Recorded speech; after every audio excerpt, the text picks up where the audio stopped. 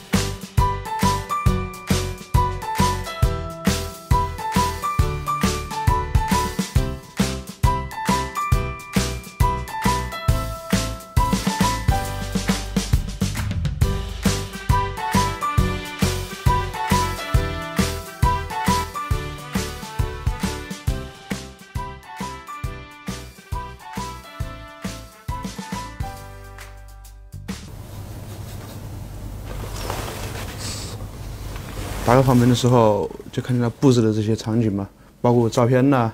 还有床上的这些灯饰啊、花啊、什么气球啊，